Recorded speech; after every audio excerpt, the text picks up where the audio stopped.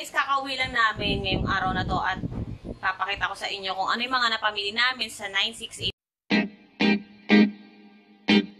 This is my family. Hello Haggardness.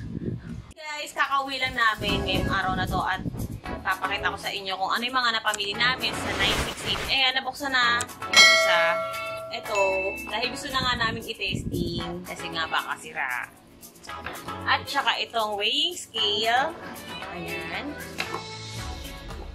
Mag-unboxing. Mag-unboxing. Mag-unpack tayo ng mga bagay-bagay. Tapos bumili ako nito. Barbie's. Tatuan na.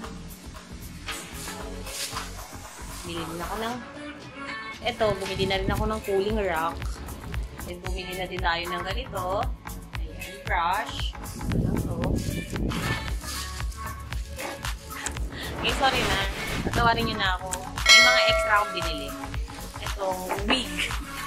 Pang bangs. At pang hair color. Maartehan.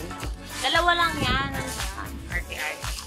Bumili din ako netong Meron na ako, pero bumili pa ako kasi alam ko kailangan ko yung mga yan. Bili na rin ako neto. Eh, gusto kong bilhin na gano'n, na rubber. Nga yun. So, dun na muna tayo sa murahin. Then, eto. Ayun lang mga in-order ko. Tsaka, bili ako nito.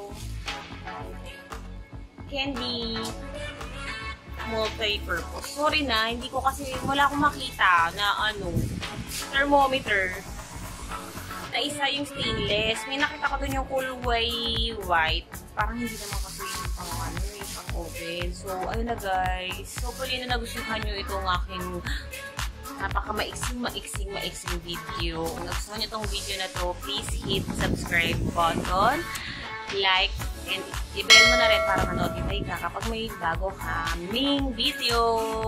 Ayan guys, soon papakita ko yung mga recipe ko sa inyo. Guys, ayan, so excited na ako sa content na yon. Have a nice day and bye-bye!